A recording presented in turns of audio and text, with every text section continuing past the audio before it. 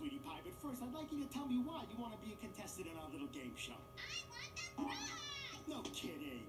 I have lots of prizes. I have a grand prize and a booby prize and a door prize and a consolation prize and a Pulitzer prize and a Nobel prize and a prize counter prize letter and we've got the prize to end all prizes.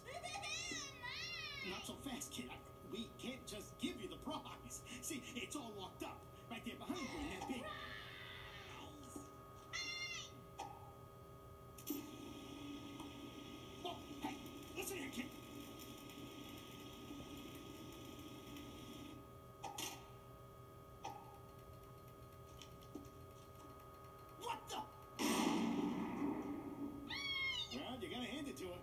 Kids are real don't get it.